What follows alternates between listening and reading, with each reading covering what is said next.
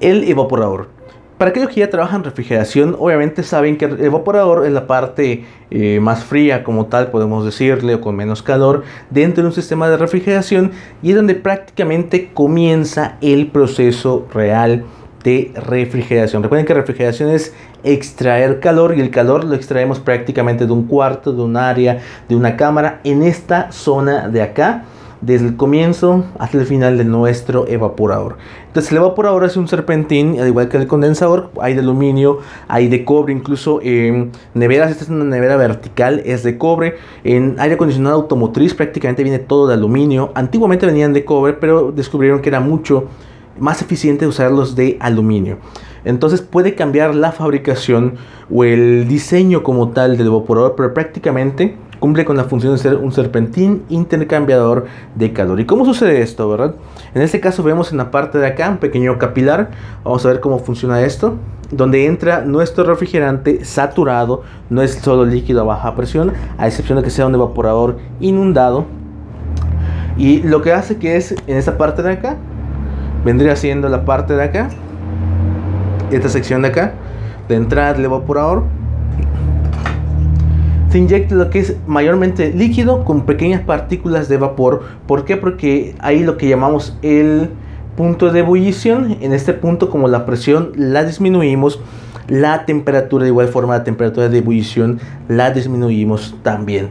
Entonces, en este punto de acá, la temperatura de ebullición o a la cual hierve el refrigerante es menor que la temperatura a la cual está expuesto nuestro serpentín refrigerante dentro del cuarto como tal.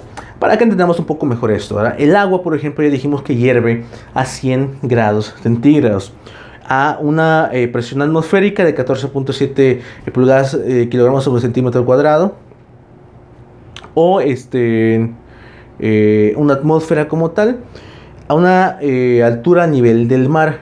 Pero si el agua en este caso lo que hacemos es bajarle esa presión atmosférica. La presión atmosférica es la presión que ejerce la atmósfera sobre la superficie como tal y esta varía a diferentes alturas, un tema que veremos después. Entonces, si quitamos esa presión atmosférica por medio de una bomba de vacío, lo que hacemos es que el agua hierva ya no a 100 grados centígrados porque ya no está sometida a una presión atmosférica, la que estamos respirando ahorita, por ejemplo, la presión en la que estamos expuestos, sino que va a hervir a una temperatura mucho menor, 80, 70, 60, 50 grados centígrados, dependiendo la presión eh, en pulgadas de mercurio a la cual esté sometida el agua. De igual forma, si le bajamos la presión a un refrigerante por medio de nuestro dispositivo de expansión, hacemos que el punto de ebullición sea menor y requerimos que el punto de ebullición del refrigerante en este punto de entrada sea obviamente, eh, la temperatura de ebullición sea obviamente menor eh, para que empiece a hervir cuando pasa nuestro serpentín menor a la temperatura de la caja o el cuarto. Incluso, usualmente nuestro serpentín de evaporador en promedio, porque es un promedio como tal, estará más o menos a 10, 12 grados centígrados debajo de la temperatura de la caja o de la temperatura del cuarto refrigerado para que pueda haber un intercambio de calor. Recuerden que a fin de cuentas, el calor fluye del cuerpo más caliente, del lugar más caliente al más frío. Si la caja está caliente, 30-40 grados centígrados, nuestro serpentín tiene que estar debajo de esa temperatura para que pueda absorber, en este caso, el calor que hay en nuestra caja. Si el serpentín tiene refrigerante, tiene muy poco refrigerante eh, o otros motivos que haga que la temperatura del evaporador sea la misma que la temperatura ambiente la temperatura del cuarto, no hay un intercambio de calor. Entonces no existe, no funciona lo que es la refrigeración que será en este tramo precisamente. Refrigeración, extraer calor de un cuarto o de un área. Entonces en esta sección comienza lo que es el punto de refrigeración como tal, el ciclo de refrigeración como tal, ¿verdad? Esa es la salida en todo el proceso del evaporador porque el refrigerante fluye y va, mientras se va ebulliendo, se va convirtiendo en vapor, este, va absorbiendo calor que pasa por medio de un ventilador por convección forzada en todo nuestro serpentín evaporador.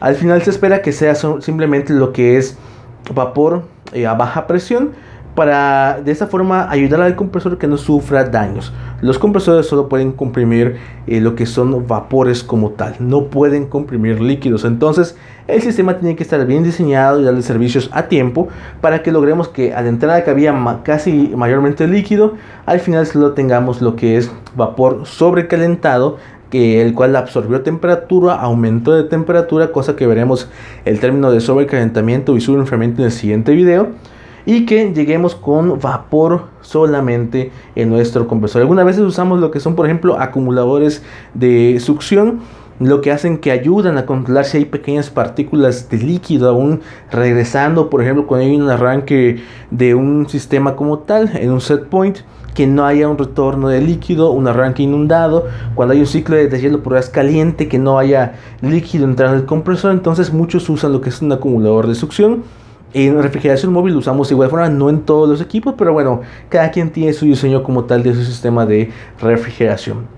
Entonces el condensador y evaporador son intercambiadores de calor. El evaporador extrae calor del cuarto primero de que pase el aire más caliente y evapore el refrigerante que fluye dentro de él.